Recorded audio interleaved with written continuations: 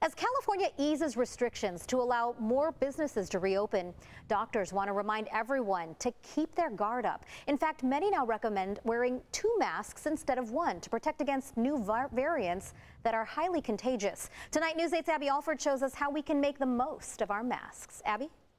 The new B117 coronavirus variant is expected to be a super spreader in the U.S., and we need to up our mask game.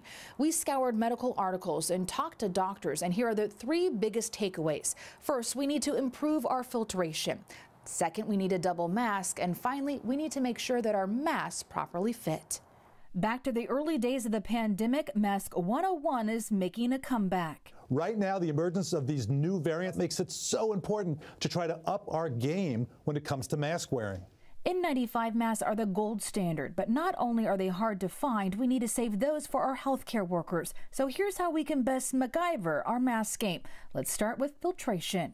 My mom bought me these filters off of Amazon for just a couple of bucks. If your mask has a pocket like this, you just insert the filter like so, and that way it'll trap the bad particles. Now let's talk about double masking. It became quite the fashion statement at the inauguration. If you have a physical covering with one layer, you put another layer on, it just makes common sense that it likely would be more effective. Every layer is like an obstacle course. If you have a layer that's 50% effective at blocking particles, if you layer two of those on top of each other, now you block 75% of them. KF94 mask stands for Korean filter at 94% efficiency. Just beware of the fakes.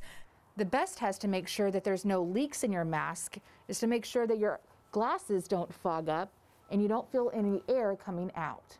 We want to make sure that mask fits properly around your nose down to your chin with no visible gaps. You can use a hair clip or like mini masks, they have these sliders where you can adjust them so they properly fit behind your ear.